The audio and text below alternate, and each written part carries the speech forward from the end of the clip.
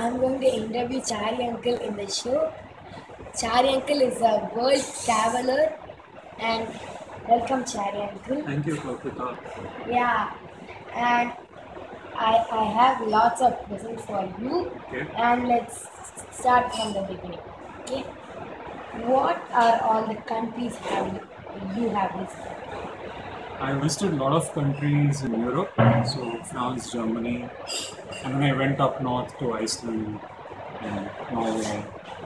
So Europe is easy to travel. So I've been to about 25 countries in Europe and uh, about six, seven countries in Africa.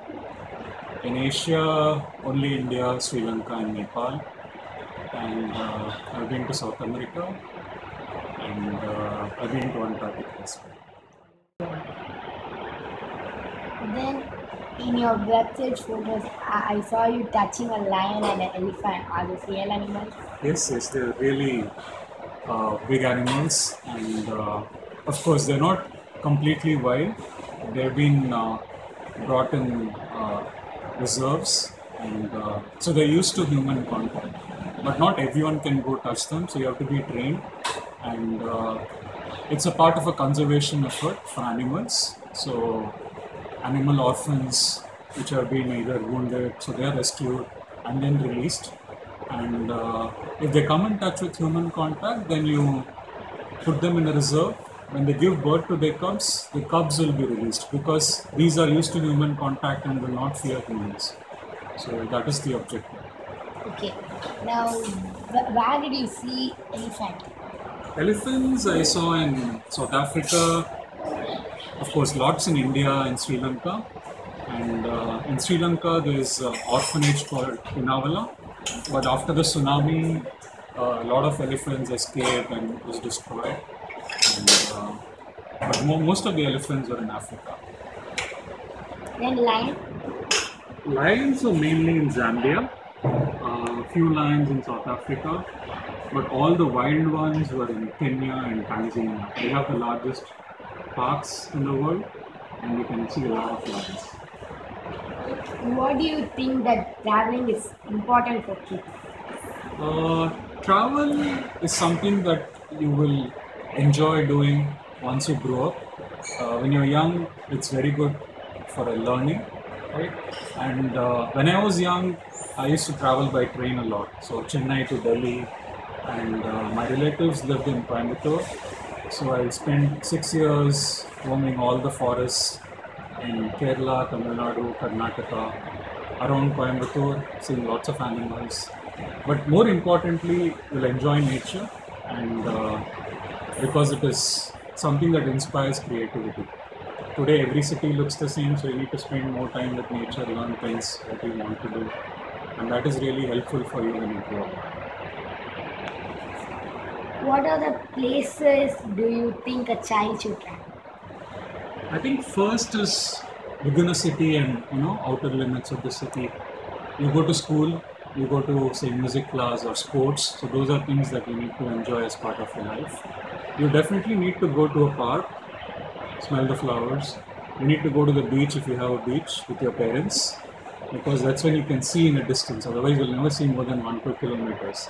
And definitely go to a zoo or any animal farm that is there in your city. I think those are three definite things you should visit. We have animal farm. Yeah. That's really good to know. Yeah. How much money does it take to travel for one country? How do you manage the funds?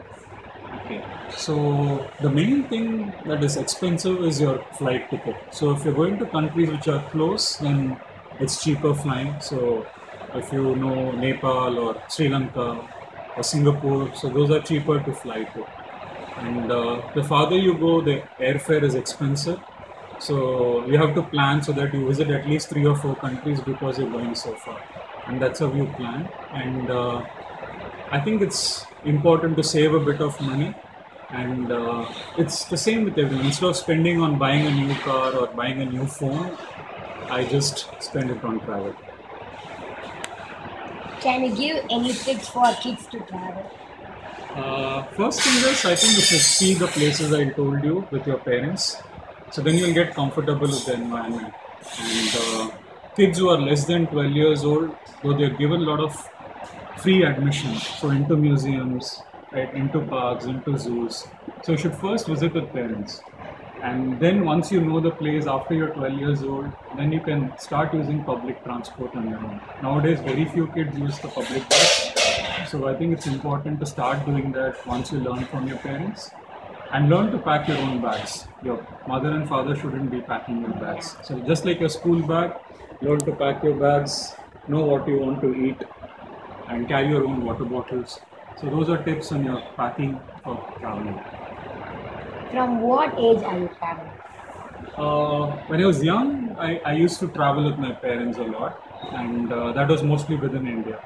And uh, so my first 15 20 years till I finished school was only about traveling in India. For traveling outside India, you need a passport. So I got it only when I was older. And uh, but last six seven years, I visited close to over 40 countries. Whoa. What inspired you to travel? I am into teaching, so and I realized that travel is one thing that uh, actually makes me learn a lot of new things, and I can pass it on to students. But apart from that, a lot of students have hobbies. So it could be painting. I had painting as a hobby. I learned music as a hobby, and sports. So I started combining events like sports events with travel, wildlife with travel, and uh, music with travel. So once you combine things that you like, you'll also start enjoying travel. Which country are you pla- planning to travel next? Uh, I love the mountains, so I think I'll probably go back to Nepal. And uh, I also want to do Tibet, which is part of China. So probably that will be the next area that I will. When you travel to other countries, do you follow their culture? Okay, that's a good question. Uh, I think it's important for you to know the culture. Like, for example, if you're going to a religious place, you know that in temples, uh, you know, you have to leave your slippers outside. So, those are things that a foreigner should know when they come here. And uh, you would have seen campaigns on television like Atithi Devo Bhava, you know, like guest is like God. And uh, it's the same for when you when you're traveling as well. So you have to treat your host country like you know it's a really pure and lovely place. You have to keep it clean. So it's important to understand their culture, give it respect, and uh, you learn a lot of things from there. So when you go to another country, you understand why they do certain things the way they do. And did you know that, like in Sweden or such places, also you remove your slippers outside the house and uh, you go in, so you don't wear your footwear inside the house. So you learn a lot of new things. So that is important to understand the culture. Do you collect things from the countries you have traveled? Yes uh, and no. I love to interact a lot with people, so they give you something you can't say no, so you take it back. But uh, I don't carry too much luggage. I believe in traveling very light. I don't want a heavy school bag kind of a scenario. But so I get postcards, so I send it to students of mine or friends of mine, and it's easy to carry. And sometimes I wear a lot of animal t-shirts or you know penguins and places that I visit. So I take fewer clothes because I know I'm going to buy t-shirts there, and I wear them and I come back. So that's the only thing I get back. How many days do you usually stay, stay in each country? Okay. It's like I don't plan too much in advance so that if I like the place, I spend a little more time. But a rough estimate would be at least spend one week in a small country and spend at least two weeks in a big country. So that you know, if it's a place like Chennai, it will take you two, three days to explore. So if you're going to a country, you visit three or four cities. Each city will be two, three days. So at least a week in a country makes a lot of sense so you understand every part of it because chennai is different from delhi chennai is different from pondicherry which is like you know just next door so i think those are things you need to plan in advance stay for three four days and then enjoy it as it comes So thank you for giving this lots of information to us. So thank you for uh, thank you for com- coming here and it's a great. it's my pleasure thank you very much for having me i hope you get to travel a lot as well Yeah, thank nice you. meeting you